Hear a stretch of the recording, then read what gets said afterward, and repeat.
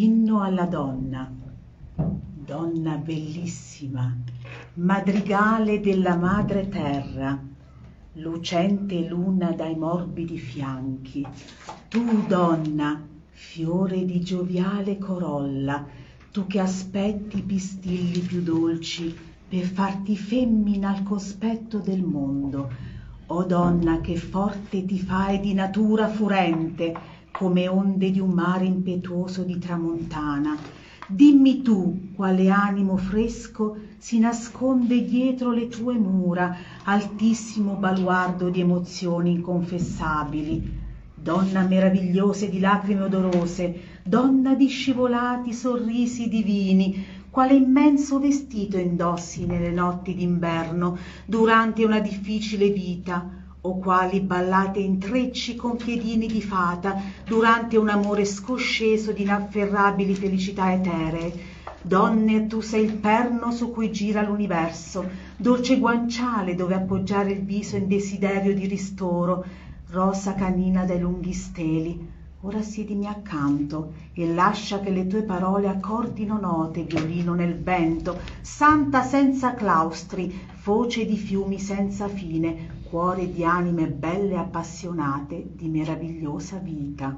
E questa è Manuela Prosperi, la nostra ospite di oggi che ci parlerà della, del, del femminio della donna perché oggi è, è il compleanno, il compleanno si festeggia la donna, la grande Buonasera, madre. La buon gra- pomeriggio a tutti, grazie Angela. Grazie a te, io eh, saluto tutti coloro che sono in ascolto qui su RT radioterapia.it, alla regia come vedete c'è sempre implacabile, implacabile il nostro Giulio Berghella. Buonasera, ciao. E oggi abbiamo come ospite appunto Manuela Prosperi e, e dopo ci sarà un- un'altra pittrice, perché anche tu sei una- comunque un'artista, un'altra pittrice mh, come Mirta Maranca che ha sempre elogiato, festeggiato, celebrato eh, il femmineo con i suoi colori.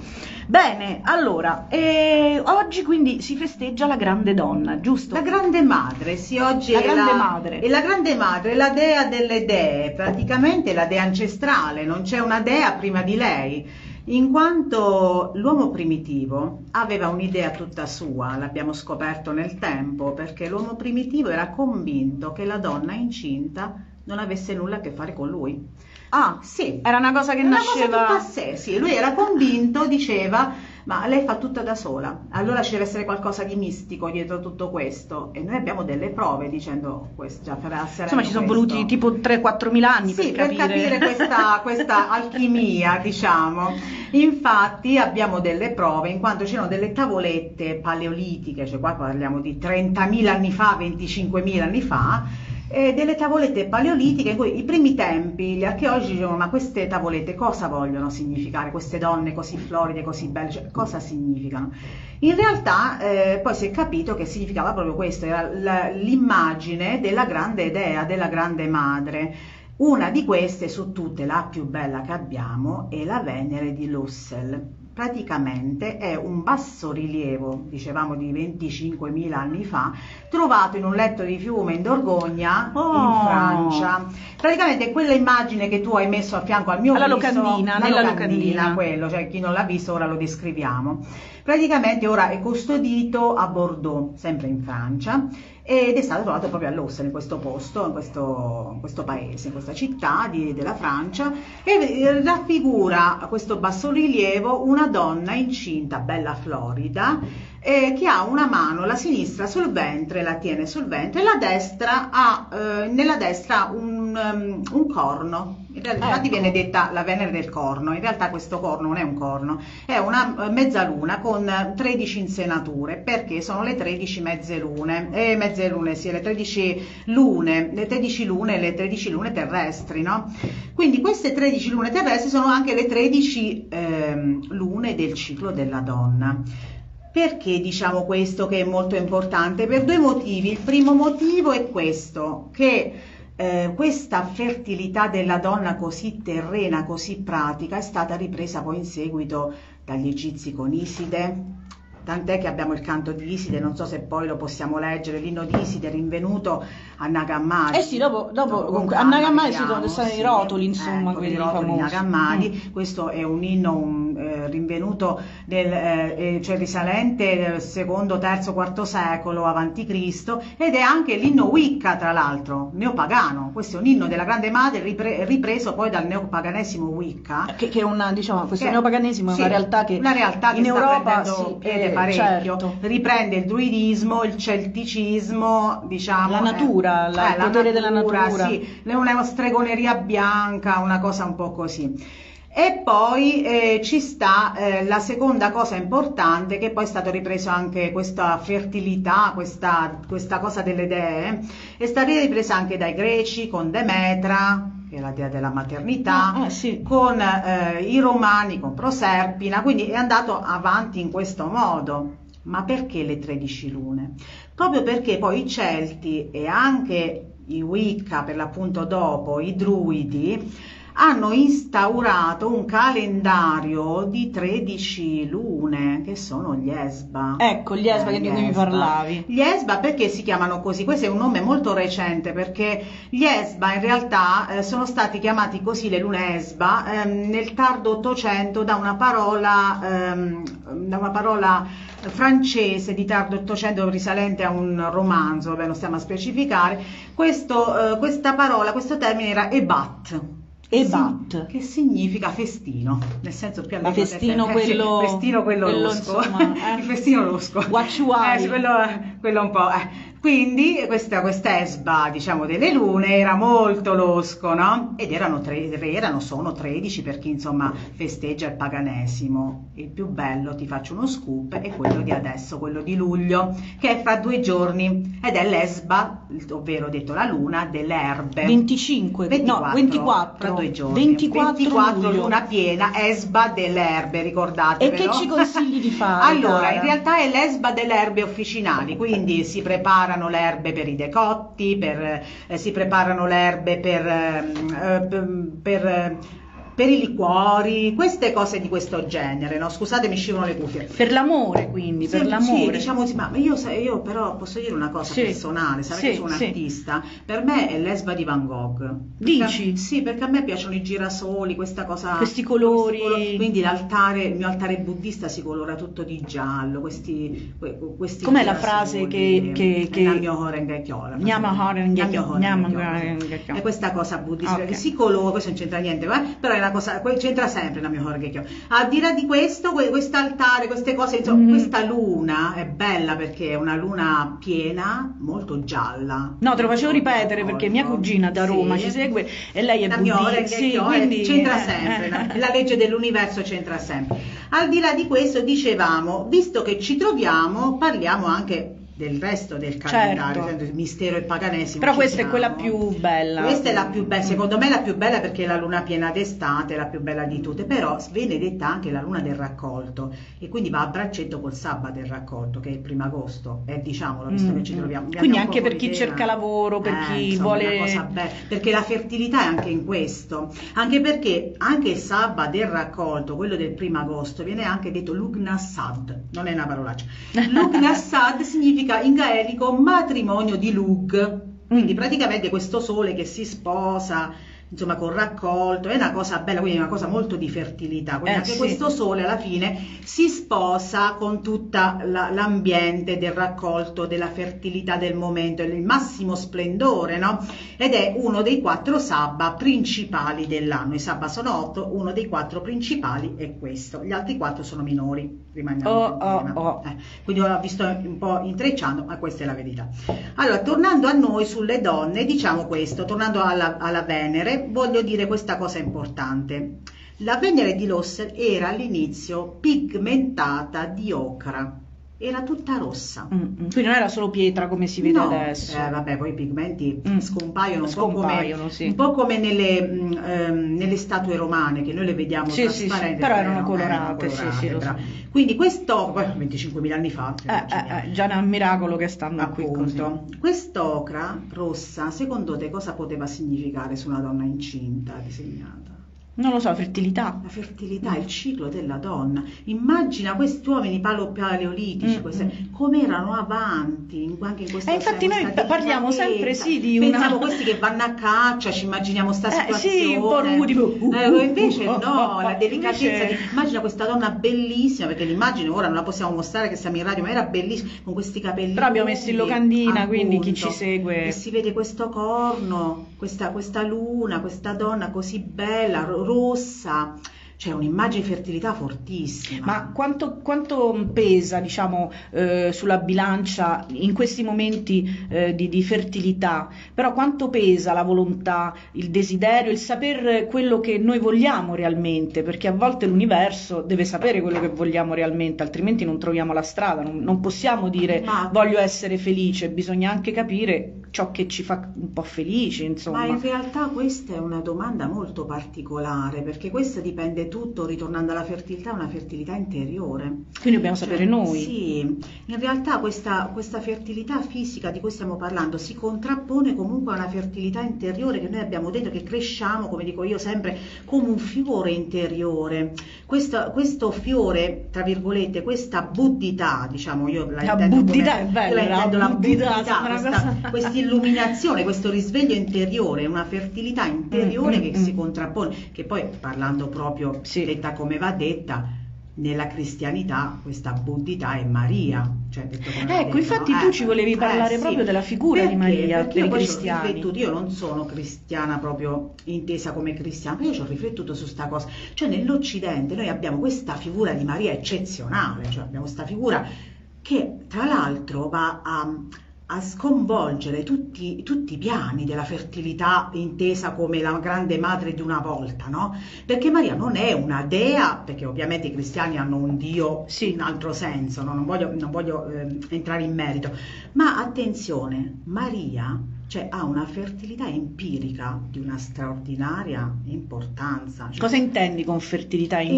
empirica? è- non è una cosa fisica, Maria fisicamente porta in sé la verginità, il, il grembo materno in una certa maniera, quindi non si parla di una fertilità come la Venere di Lossel che, che è una cosa fisica, il rosso Mm. capito fisico, lei porta una fertilità empirica, cioè un quest'amore, Una crescita interiore. una crescita, quella di cui stavi parlando Mm, adesso tu, la mm, buddita, mm. le porta questa crescita interiore eccezionale, una cosa straordinaria che parliamoci chiaro, nella cristianità la porta solo lei.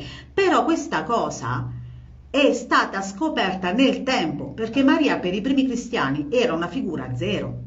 Ah. Attenzione, questa è una cosa importante. Cioè Maria fino a 350 anni dopo Cristo Mm, mm. non era assolutamente nominata da nessuna parte, esisteva solo Iuios, Soter, insomma questo Gesù Salvatore che era la figura cardine del cristianesimo. Il figlio, diciamo, Il figlio. Ma, lei, ma lei era una figura che stava dietro. Cina, no, no, no, no, proprio non, non veniva nominata da nessuna parte, in realtà esiste, cioè ha fatto questo gesto di, insomma... È stato proprio il cattolicesimo, quindi, È stato il cattolicesimo nei concili a esaltare questa cosa, cioè, ora non voglio entrare in merito, però insomma voglio dire, è stato proprio nel tempo a portare avanti questa figura eccezionale Mm. e a esaltarla in una maniera eh, bellissima, poi con l'illuminismo, nel tempo, cioè, proprio attraverso i concili, attraverso anche i papi, l'importanza di Maria è diventata una cosa un po' proprio seria. E la figura di Iside, come si, allora, si inserisce in questo... La figura di Iside siamo ancora ai primi tempi, nel senso non stiamo, la figura di Iside allora E dopo, e dopo la, la Venere, sì, diciamo. perché no, la Venere di Lossere è molto È molto- precedente, eh, molto precedente. Poi c'è Però- Iside. Poi c'è Iside, in realtà siamo ancora, cioè, noi dobbiamo considerare che gli antichi all'epoca erano molto più moderni. Di noi? Eh, sì, Più liberi, forse. Sì, erano più aperti. Ma vediamo anche la cultura romana, loro erano molto più aperti di noi. Eh, non i romani, eh, sì, anche questi romani, sì. matrimoni, noi stiamo a fare tutte queste storie con questi matrimoni Eh. misti, co-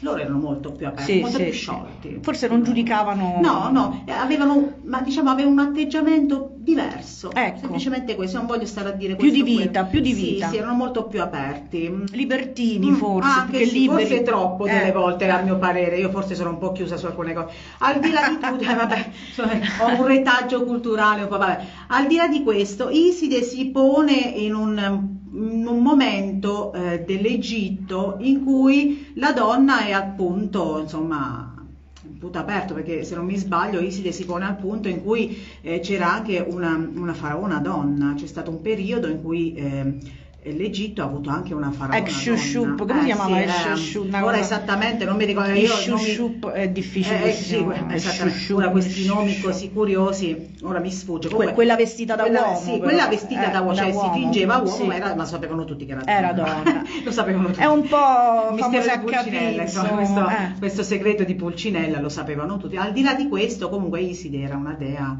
particolarmente venerata e si sa questo fatto perché eh, da- da- da- dalle, cose, dalle tavolette ritrovate in lingua copta, poi insomma Mm, anche mm. dopo così, sappiamo bene che Iside era una donna ehm, particolarmente di polso e questa Mm, cosa piaceva molto. Insomma, veniva, veniva presa come punto di riferimento. Però ti faccio una domanda. Tutto. Ovviamente tu sei una, una grande studiosa di, di spiritualità, io lo, lo posso dire perché Oh, ti grazie, conosco e, e so che non dici cose, cioè sono Sì. tutte cose studiate, ma non solo. Sì. È quasi un'agnosi, cioè tu le hai provate su- sulla tua vita, sono- Mm. le hai vissute, le hai sperimentate sul Sì. tuo, tuo spirito, quindi non le dici a casaccio. Però la mia domanda adesso è questa, proprio avendo parlato anche di questo faraone donna che si fingeva uomo, cioè quindi quello che viene in- è la donna forte, no? Ancora oggi ci sono molti uomini che amano questa figura di donna. Eh,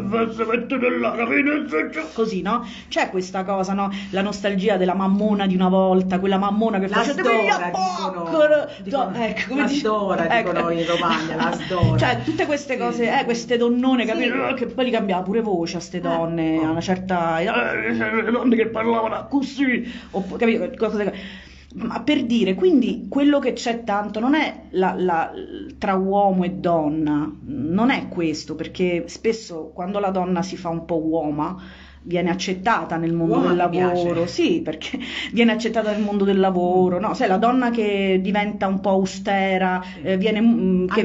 Eh, ecco, così viene più accettata. Quindi è proprio la femminilità che dà fastidio, Mm. forse negli anni, nei secoli, è quello che viene combattuto, cioè la femminilità in, in alcuni luoghi mm, come il lavoro, come il potere, come il comando, cioè in alcuni luoghi eh, dà fastidio non la donna, ma la fertilità della sua femminilità.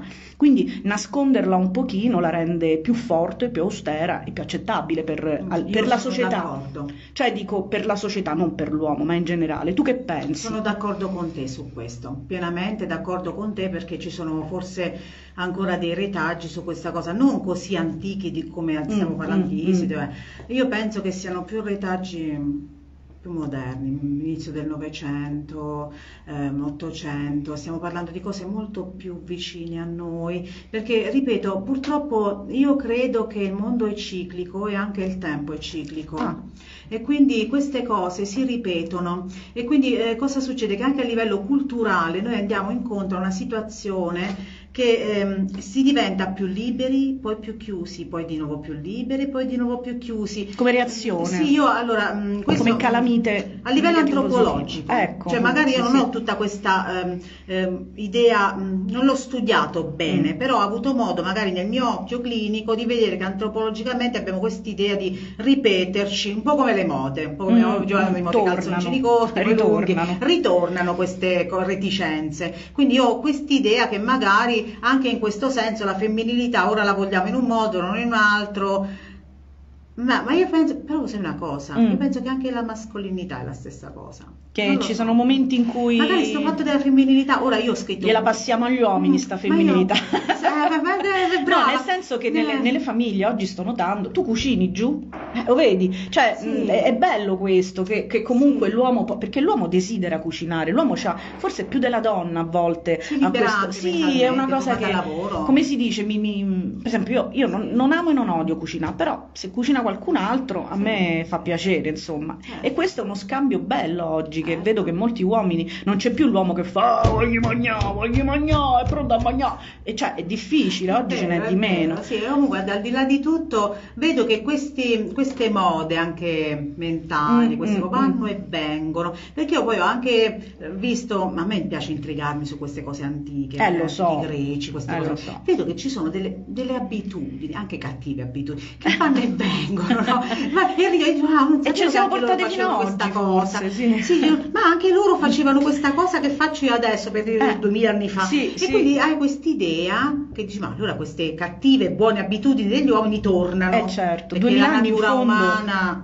cioè cambia tutto, Eh, ma la natura umana umana, non non cambia, cambia mai la E così anche la, la- la natura umana della Dea Madre, ci sono tante cose. Eh, ora prima ti ho detto a te che bella donna per dire, perché eh, io tuttora vedo ehm, oggi che la, la festa della Dea Madre, per me vedo la bellezza della donna come magari la vedevano tanti anni fa, che era proprio sentita come festa, cioè questa la, la- la festa della Dea Madre era sentita tantissimo. Oggi magari c'è chi non la sente, chi non lo dice, chi la sente lo stesso, non si dice, però sono cose che tornano, vanno e vengono, cioè un po' come tutte le cose, però ritornando al fatto di prima, magari tu dici la donna la vogliono così, ma guarda che anche l'uomo delle volte le donne lo vogliono in una certa maniera, quindi ora noi poggiamo molto il discorso la donna così, la donna così, perché purtroppo ci sono tanti paesi in cui la donna non è ancora... Eh, ma magari hanno una storia anche hanno diversa. una storia diversa, una cultura diversa. Mm. Ma sai, ci sono anche gli uomini. Tempi volte, diversi, eh, sì, sì. ora una storia di cronaca su,